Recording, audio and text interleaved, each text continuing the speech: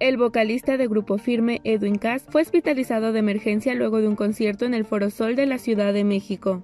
En redes sociales circulan videos donde se ve al cantante de 27 años a bordo de una ambulancia acostado sobre una camilla con una sudadera y con los ojos cerrados. A través de una historia en Instagram, el vocalista escribió, Estoy bien familia, acabo de agarrar mi celular, más tarde me reporto, solo quería que supieran que estoy bien, gracias. Horas después transmitió en vivo y explicó el motivo de su hospitalización, detalló que por estrés bebió gran cantidad de alcohol y al tener una hernia yatal comenzó a tener fuertes dolores y acidez, por lo que se desvaneció. Y pues si se van tiempo atrás, los que son mis verdaderos fans saben que tengo una hernia ya tal aquí crónica, que me han dicho que pues la tomadera tenía que controlarla, es más hasta cancelarla, ¿verdad?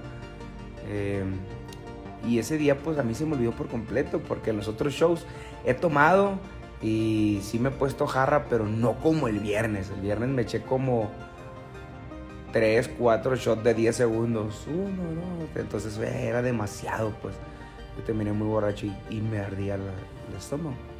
Y aunque se difundieron rumores en torno a la situación, algunos decían que había sido un infarto y otros una sobredosis, Edwin los desmintió. El concierto de este sábado en el Foro Sol tuvo un sold out como muestra del éxito de la agrupación en la actualidad.